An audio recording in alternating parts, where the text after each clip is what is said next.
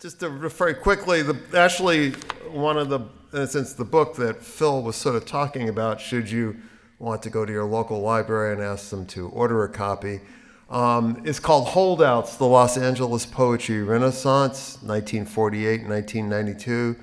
Um, I am an academic, and so this is published by the University of Iowa Press, uh, passing muster with all the MLA types in the, out there in the world. But actually, I'm pretty proud of it. It's probably the book I'm actually best known for. It's a good read. Um, it, uh, despite the fact that I'm an academic, this is written for uh, a general audience.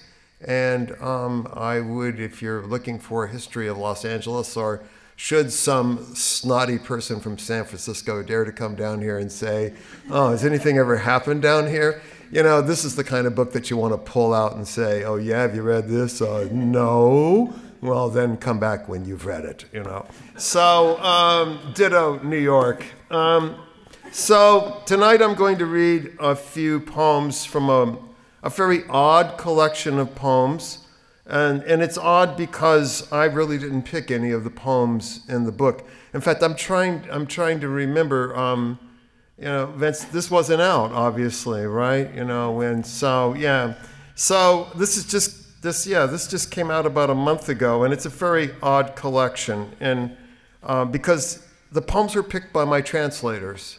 Uh, what happened is that I'm one of these, um, like many LA poets, underground poets. Uh, yes, I teach at a, at a college, but I have a PhD, and that's because I publish articles. I will have an article on teaching the beats on a MLA volume that's coming out on teaching the beats. You know, so I do the academic dance, and that's how I make my living after working as a typesetter for many years. But I have relatively few books out. One, this was came out in 1982, and this came out in 2006 in a total edition of 250 copies.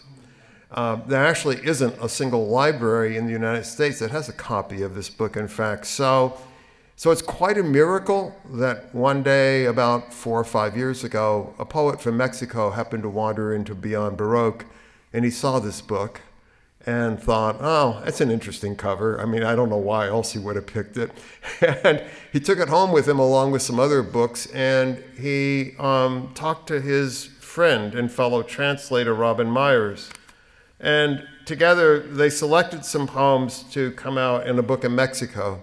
So this book was published in Mexico, where apparently I'm better known than here. Uh, this thing actually sold like 700 copies down there, uh, a bestseller by U.S. standards.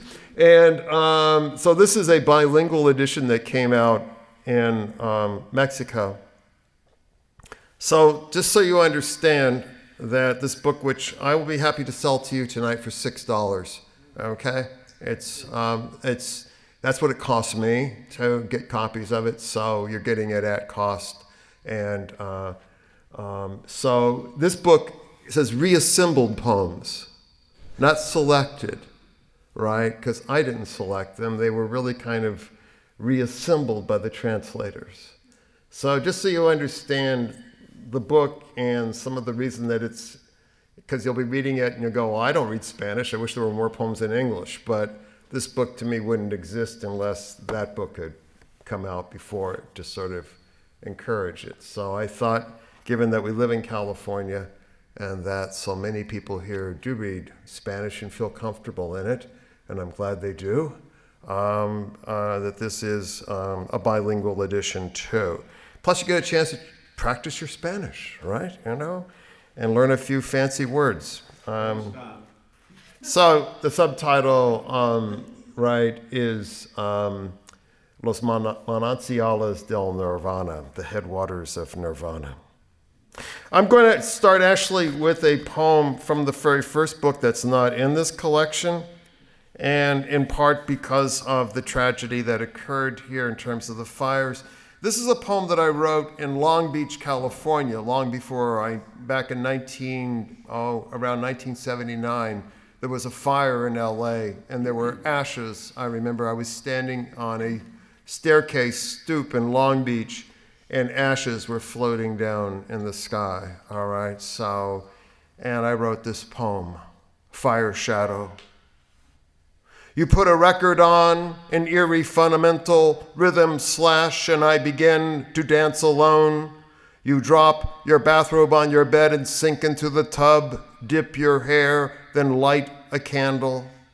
Outside, ashes from a mountain fire drift beneath the clouds, and high above the horizon, the sun glows in a red haze. Your front door, kept open by an old iron, cuts a beam in half. The red shadow stretches across the floor and wall. I sink my fingers into it, and then my feet. The shadow trembles, and I leap into the bathroom. Behind, the music stops. I strip and step into the tub. Our legs overlap each other's hips. The black wax and rivulets flows down the side of the tub.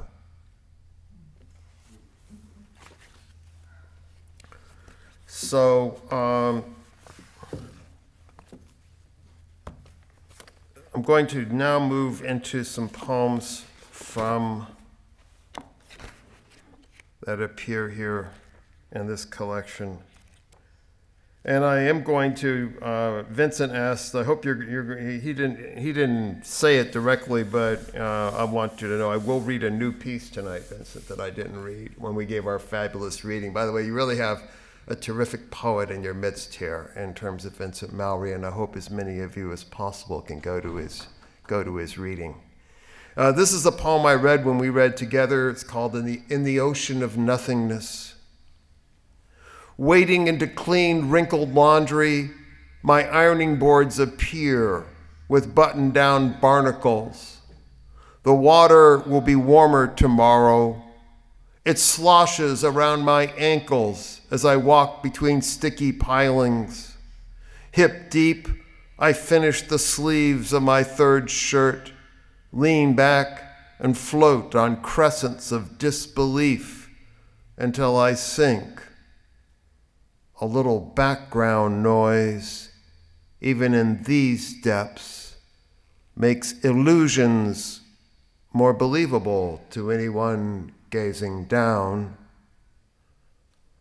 I went for a long swim last night between two tiny continents. The entrails of a transparent fish swayed in mordant harmony Near dawn, it spoke I am this universe. Its gills rippled like buoyant silk.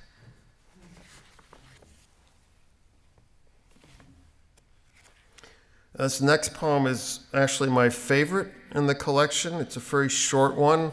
Um, you know, I, I thought about this earlier today. How does how does one write poems that other people really like? And it's a question that um, I've never really given much thought to. I, I, I don't mean to sound self-absorbed, but I really don't care if you like the poems. I only care I only care if the poem likes the poem. Poems are really selfish, you know. They're really only interested in themselves. They aren't interested in the poet either. They don't care whether I like the poem. The poem only cares if it likes itself. But this is a poem that somehow I feel like I, I was given a gift. It's called The Restoration.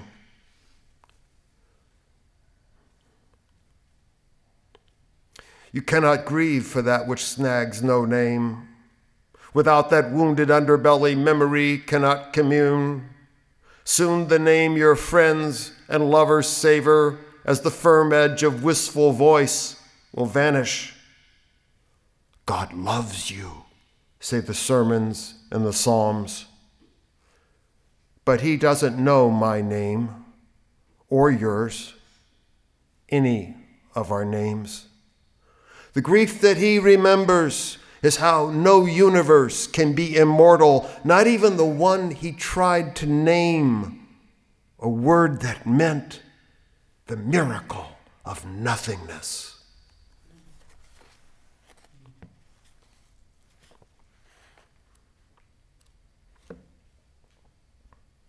A lot of poets, of course, uh, end up, even if they hate it when they're young, writing poems about poetry. You know, when I was young, I thought, what a cheap, what a cheap trick. I mean, you're writing a poem. My what's your poem about? My poem's about my poem, right? And I was, I hated that kind of poem, but eventually you all come round and you start writing poems about poetry and of course the art of poetry which is the title of this next poem and starts off with a hike in the woods and then shifts the scene. Art of poetry. I wasn't on a path or near a creek or lake. In the, deep, in the gray light of a smoldering storm, I heard the rotted wood of toppled trees wait for my noise to loosen incandescent spores. Once, hurrying through the thicket of a mountain, I saw a glowing tube of threads like a mashed globe, suspended, taut, creased with undulant shadows. A tent caterpillar, a man explained as sparks from a fire pit decanted but that name did not suffice. Those syllables only blurred the motionless reverence of the tiny span the chrysalis allowed itself as galactic cusp. The next day, a monk talked of cycles of evasive desire. As he spoke, I rubbed the small tear in a padded finger of the left hand of my motorcycle gloves. I'd hit the pavement hard, but jutted back up. No broken bones, no lacerations. I'm easily distracted. Not much chance to escape the sticky wheel of suffering. As he walked past, the monk smiled delightfully, though not at me as such. He had no other blessing to disperse. Yet he had grown up poor, I thought. Those teeth needed work when he was young.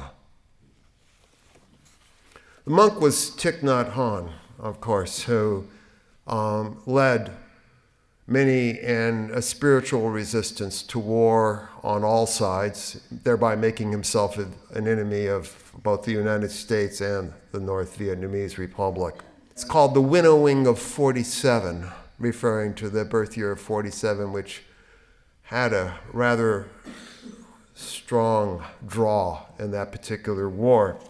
And as part of that war, a part of that effort to reflect on the war, um, I went to um, I went to visit the Vietnam Wall um, with my wife Linda this, um, several weeks ago, and um, and certainly that influenced uh,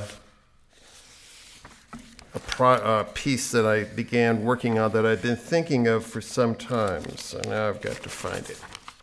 So this is a very new piece, and for those of you who know your American literature, you'll recognize some of it as part of Whitman's Song of Myself. And other parts of it you may have heard about, but not, as I did not until very recently, bothered to look it up online. It's the testimony from the congressional committee investigating what happened at My. So this poem is called, it's a complete collage poem, it's called The Accessories.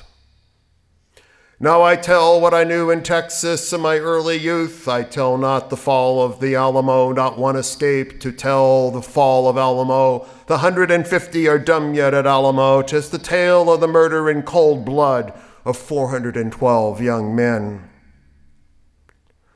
I don't understand that term, free fire zones, sir. I have heard it since this thing blew up, but we really didn't talk about these being free fire zones. The main thing is, do they have a weapon? And if it were a military age male that took off running like as fast as he could, they were supposed to catch him. But if it was obviously a military age male and they couldn't catch him, then they were allowed to fire. Retreating they had formed in a hollow square, with their baggage for breastworks. 900 lives out of the surrounding enemies, nine times their number was the price they took in advance. Their colonel was wounded and their ammunition gone. They treated for an honorable capitulation, received writing and seal, gave up their arms, and marched back prisoners of war. I couldn't foresee any way of, of how the bodies got in the ditch. If they got, got killed by the artillery, when the GIs come through, we usually don't pile up the bodies but put them in a ditch. We let the Vietnamese, you know, or somebody else come back in and do that. They were the glory of the race of rangers, matchless with horse, rifle, song, supper, courtship, large, turbulent, generous, handsome, proud, and affectionate, bearded, sunburnt, dressed in the free costume of hunters, not a single one over 30 years of age. Did you tell them that we are going to make the village uninhabitable? I do not know, Mr. Congressman, if I used those words. Well, if you told them to burn the hooches and destroy the livestock and plug up the wells, uh, that would almost be the same thing, would it not? It could be interpreted that way, Mr. Congressman, yes, sir. The second first day morning, they were brought out in squads and massacred. It was beautiful early summer. The work commenced about five o'clock and was over by eight. None obeyed the command to kneel. Some made a mad and helpless rush. Some stood stark and straight. A few fell at once, shot in the temple or heart. The living and dead lay together. The maimed and mangled dug in the dirt. The newcomers saw them there. Some, half killed, attempted to crawl away. These were dispatched with bayonets or battered with the blunts of muskets. A youth not 17 years old seized his assassin till two more came to release him. The three were all torn and covered with the boy's blood. At the time, as I remember, he told me to keep it under, you know, keep it quiet. And I assumed he was talking about this My Lai affair. But he was talking about another one that broke later, which we actually tried all the platoon and the lieutenant that were involved. It was an incident where NVA, North Vietnamese Army, nurses were captured and raped all night and then murdered. And the platoon, I think they tried 16 boys, including the lieutenant. At 11 o'clock began the burning of the bodies. This is the tale of the murder of the 412 young men. I just have one other question, Mr. Chairman. It is really not pertinent to this inquiry, but the other atrocity, if you want to use that term, where the lieutenant and his whole platoon were tried for the rape murder of the North Vietnamese nurses. In what area did this occur? I think the Khe Sanh Valleys area, which was north of My Lai. Was a very active area, and I only put it in on the fringe of it because it happened in June.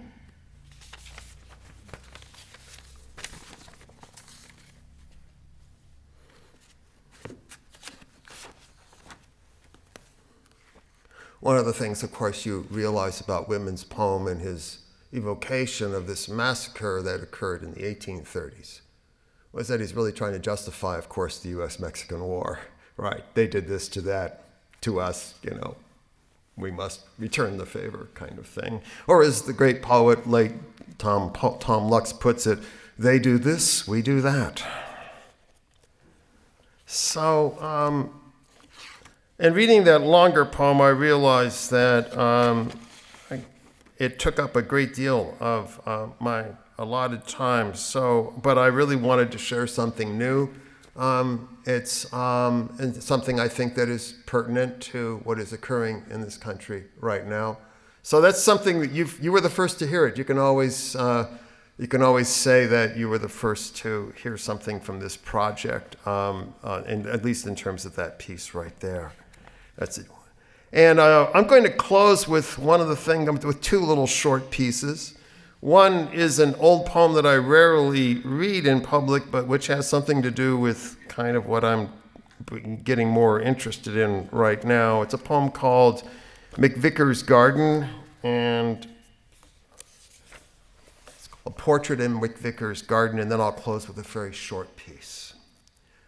Portrait in McVicker's Garden. Uh, Jim McVicker is a landscape and uh, still life painter. He lives up in Eureka, Loleta area. If you ever had a chance to see his work, it's really top notch. My face cannot be finished. Two days I've stared and slouched near cusp of dahlias, foxgloves creamed with red, my chest and shoulders swelling in a dark shirt, jeans trenched between white petals as each slides an edge under another's wavering fan of points. It's not working, he says, lifting the canvas off. As I kneel on a narrow stone path, the wetness of mud seeps through my pants, sipping up my thighs. A big hat darkens my chin.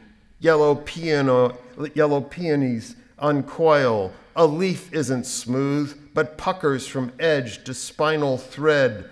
Light scuffs the repetition until color roughens. Lilac squats, orange puffs, yellow crouches, increased gourds, thick husk of amber, shrill asperities, stretch grays, pinks, pinks, ziggurats, lips parted, parted for your garden's kiss. I'd forgotten that I could actually sort of write a lyrical poem. nice. So, um, I'm going to close with the final piece that's going to be at the end of this long sequence, um, in which, um, do I have a couple more minutes, Phil? So I want to share with you, in fact, just so that uh, something that maybe you'll see if, if, you go to the Vietnam Wall. When Linda and I went to visit the Vietnam Wall, I'd never been to it before. And it was a personal thing. I knew um, one person. Uh, I went to a real small high school. His name was on the wall. And you remember that poem that um, I started the evening with, uh, the one Fire Shadow. Her brother was killed in Vietnam, Robert J. Anetti. His name is on the wall too. Um, but one of the things that struck me about the wall that I hadn't, hadn't really ever heard people talk about, and that is, you know, the wall is set up so it's like this, right? And, and in a sense, there's a crease where that wall is. And from the right, all the names are listed in the order in which they died. So you had the very first soldier that died, and the piece ends with, uh, of course, the infamous position as John Kerry, who wants to be the last soldier killed in this war? And that person's name is last there. Well, one of the things that I've never heard anybody talk about is that all the names, as you look at the right hand wall, so to speak, if you're facing it center, are flush left. So they're all pushing at this center point. When you look at the other wall, they're flush right, which means that they're moving once again towards that center. In other words, the names are kind of moving towards that center point. And when you're standing there and you realize how high that center point is, it's rather like the prow of a ship. In other words, like D.H. Lawrence's ship of death. And we are the sailors working with this cargo of memory. I mean, the, the, the sculpture really is metaphorical. It's not, not just a, a wall, it really becomes like the hull of a ship. So I'm going to close with Gravestone's song. I have done what I was sent here to do. Fraught with errors I could not subdue. And sour and sweet, almost complete. I regret that it's time to say adieu. So, like Saturn with his many moons, please leave me here to soothe my wounds.